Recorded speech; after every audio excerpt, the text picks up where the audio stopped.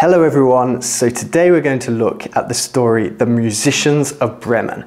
And this is a classic Grimm's Brothers tale. And this one is at a level 3 early reads. So it's a pre-A1 level and it's perfect for young learners of the English language.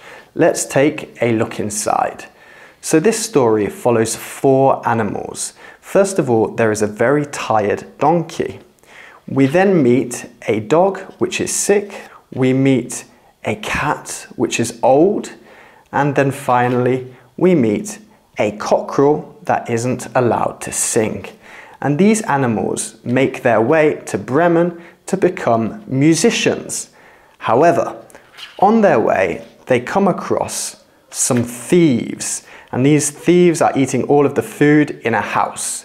And this story is really about teamwork the animals have to work together to scare away the thieves. So this story teaches your students about teamwork and that by working together, we can achieve anything. At the back of the book, there are many activities to practice comprehension skills and also learn new vocabulary. And at the very back of the book, there is the picture dictionary. I like to get my students to make their own flashcards using this vocabulary. So that's the story, The Musicians of Bremen.